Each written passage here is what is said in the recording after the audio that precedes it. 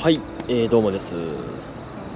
はい、ここはですね、えー、前回訪れた、えー、ツゲグラスという場所なんですけども、なんかね、入り口がなんか開いてるんですよね、今回。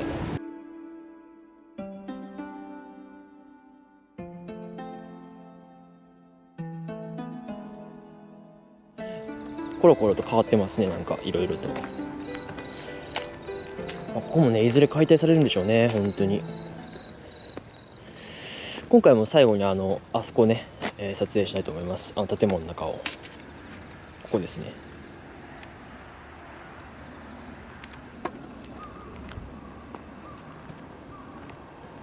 まあ今季節はまあほぼ秋なんで、まあ、こんな感じですね。全然違う。以前来た時と。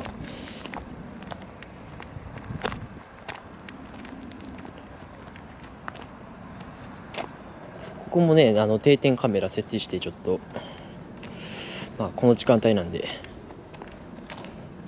あれですけど。おだあらま。あすっからかなってますね。あらここにもここにもあったやつがない。で相当結構有害物質やったってことか。要するにあの包帯は。ね獅子王誠とか言って言ってましたけどあの時。ないですもんねなんか。へえなくなっちゃってる。誰かが通報したんかな？ここになんか包帯ありますよみたいな。たくさんありますよって。そっかだからか。あそこ開いたんを入り口開いたんを全部回収するために。じゃあ俺やばいとこおってるなあそこに。でグラスまあここの次グラスの由来になったこのグラスはね未だにあるみたいです。たくさん。こんな感じで。奥にもねまだまだ使えそうなグラスがたくさんあるんですけども。サンマ。このこのこういうグラスは分かるんですけどこの辺のやつは何やろ一体。なんか結晶みたいな。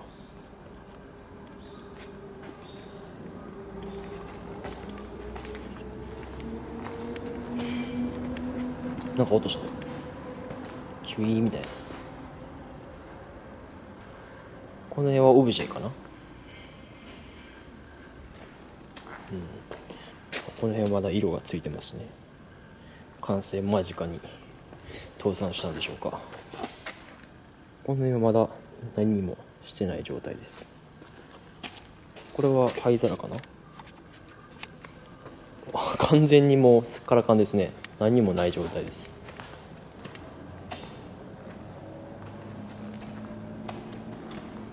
ただ建物はこのままのようですね。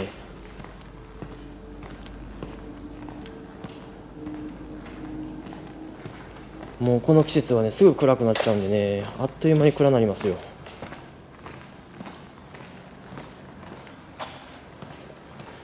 なんか幻想的ですねこういう明かりは。ここ開いてる。誰かまた開けたんかな？宝箱。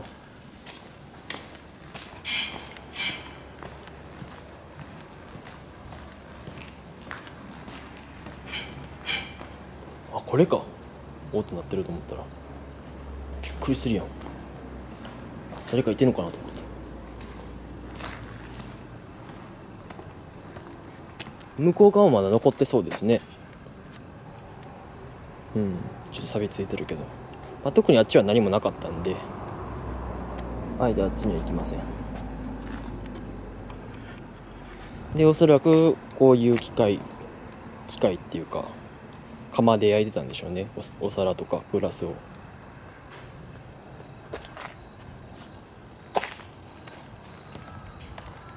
うん。M M5 マッツ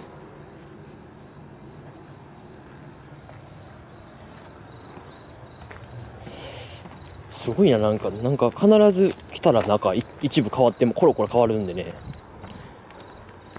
もうなんか面白いですね。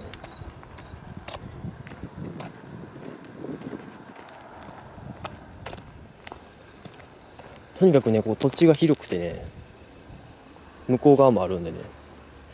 以前あっち行ってなかったんか、これ。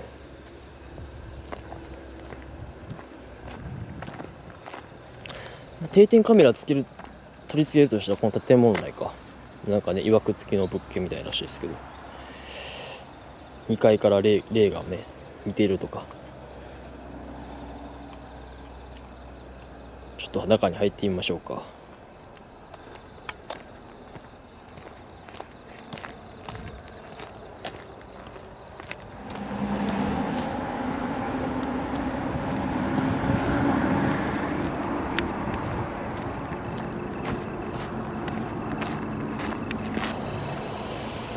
反対側です。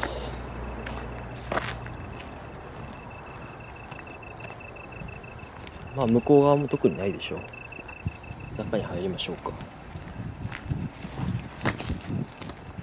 見学コース順路。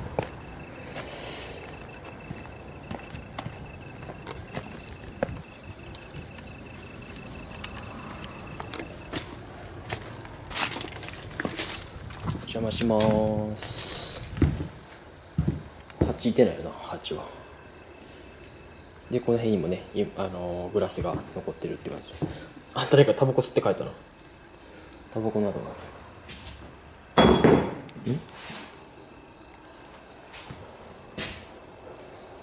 でおばあちゃんのね匂いがしたところがこっちなんですがこ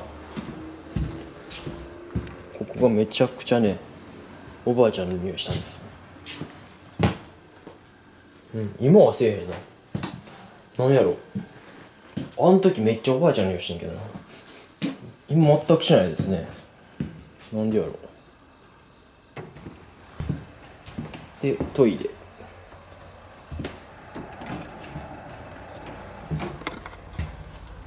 こんな感じです。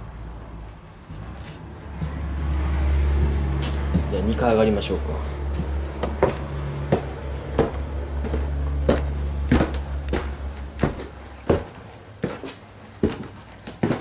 うわ2階なんかすごい温度が違う。全然温度が違う。うわ。なんでしょうね。下はめっちゃ寒かったんですけど上めっちゃ暑いです。なんでやろむ蒸し暑い。これ前からあったか。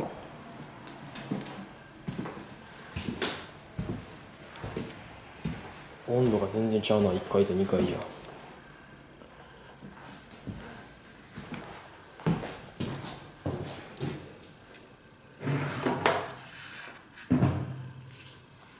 やでなんかね書いてますね。12月21日とか。これ電話番号だったのか。ペンとかもねまだあります。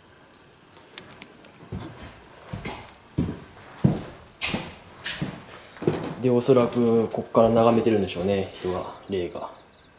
じーって。会室。